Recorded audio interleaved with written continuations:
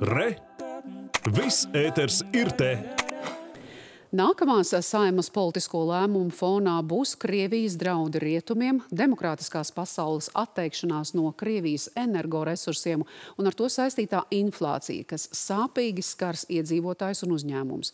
Tā šodien tradicionālajā uzrunā saimas pavasara sesijas noslēgumā uzsvēra valsts prezidents Egīls Levits, un tādēļ pēc 14. saimas vēlēšanām, kad būs jāizvēlas nākamais ministra prezidenta kandidāts, Levits ir apņēmies rūpīgi vērtēt, vai pretendents piedāvā piedāvās konkrētu, saprātīgu rīcību politiku, lai Latviju padarītu drošāku un krīzēs izturīgāku. Un tādēļ es aicināšu nākamo ministru prezidentu kandidātu sniegt konkrētu, izsvērtu un izvērstu pamatotu reformas plānu, kā novērst valsts pārvaldības stagnatīvo atpalicību.